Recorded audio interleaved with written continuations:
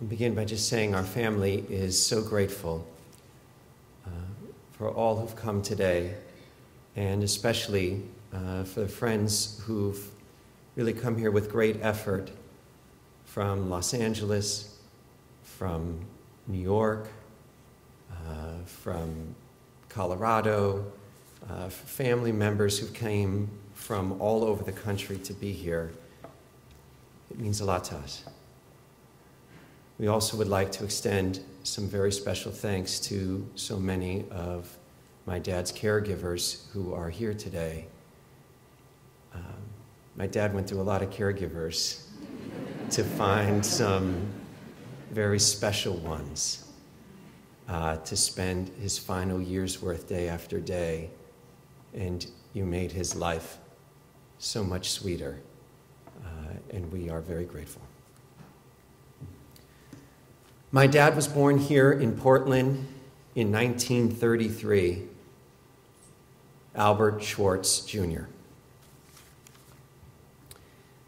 Everybody called him Bert because his dad was Al.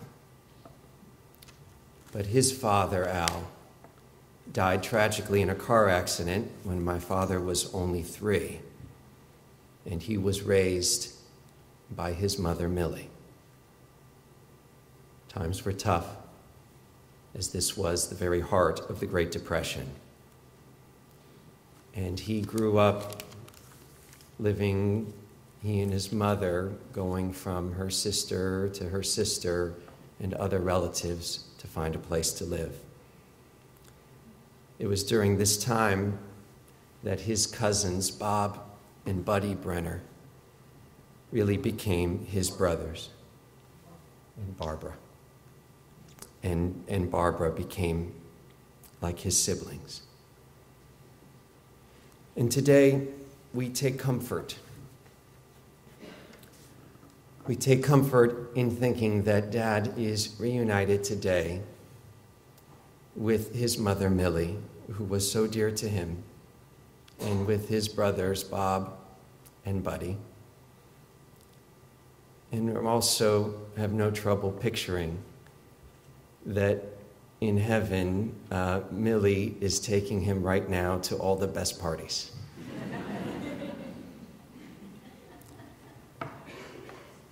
Dad grew up poor.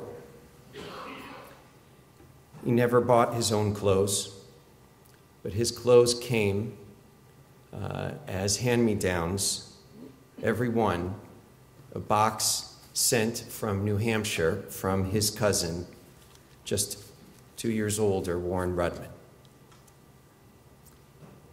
who knew that these two boys would grow to reach such heights. Warren was forever grateful to my dad. When he was first running for Senate, it was a very tight race and he had no money. And my dad threw fundraisers for Warren in Beverly Hills and raised the money for him to squeak by in that first election. And my father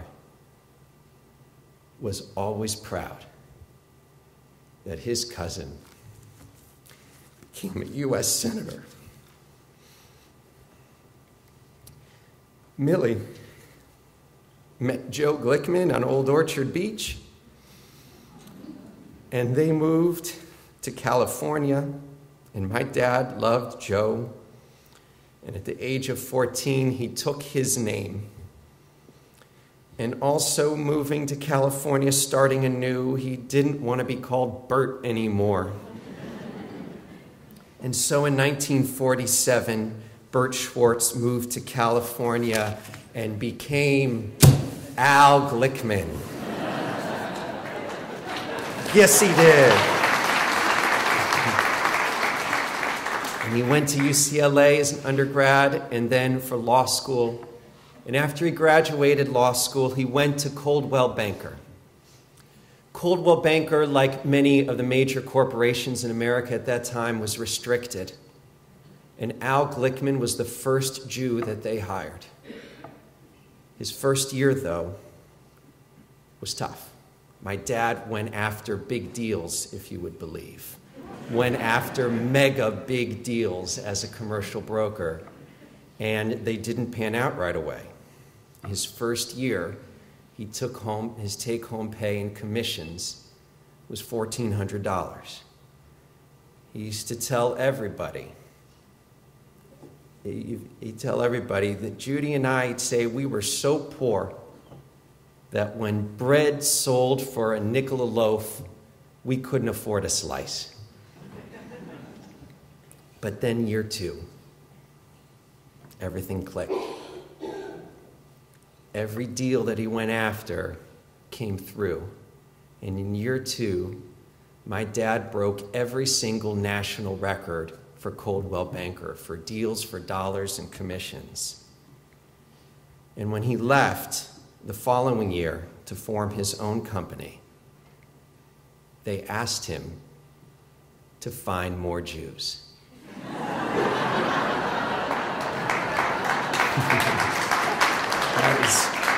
That's a true story. In fact, some of the Jews my dad found for them went on to go and lead the company. He became a developer and was a pioneer in developing a brand new innovation called the Community Shopping Center. Dad's specialty was to go into towns, small cities throughout California, throughout the West, and to establish their first shopping center. Find a good corner of two major streets, put in a Kmart, a, shop, a supermarket, a drugstore, and then all kinds of local businesses, restaurant shops and repeat and repeat throughout the West. In the 60s and the 70s, he worked hard. He was a brilliant negotiator. He was a visionary. And this boy, who here in Portland dreamed of better things, he dreamed of security, he dreamed of respect and then found phenomenal success. And he had fun with it. He liked cars, classic cars.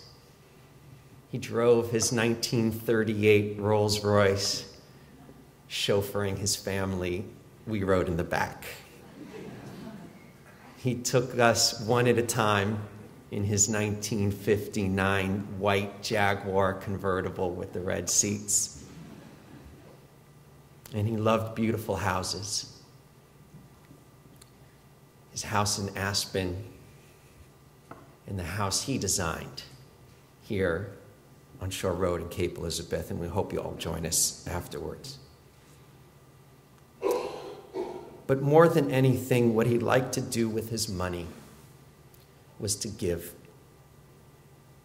He was the most generous man, perhaps, that any of us will ever know. He gave to museums, he gave to hospitals, he gave to the arts, he gave to public education.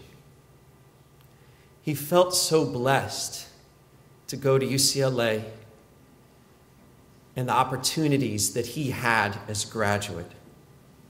And he never forgot what he was given and gave millions of his own dollars to UCLA and here to USM. And he loved his library here and was honored to, honored to be UCLA's Alumnus of the Year. but mostly he liked to give to his family, to us kids, to give to us everything that he never had. And that applied to his whole extended family. Many who are here know that it's good to have a rich uncle. and uh, my Uncle Richard my dad took us all, the whole, all of Richard's family, everybody. We went on a trip, a ski trip, and Richard had T-shirts made. On the back It said, Charge it to Uncle Al. and that became the family motto and has been for about 35 years.